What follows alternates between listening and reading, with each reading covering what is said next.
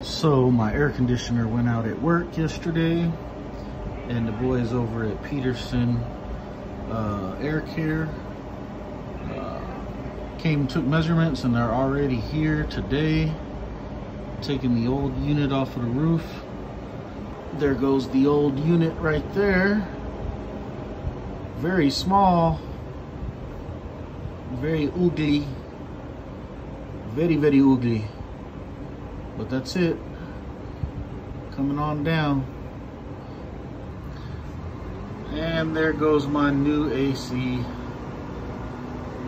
getting lifted up to the roof.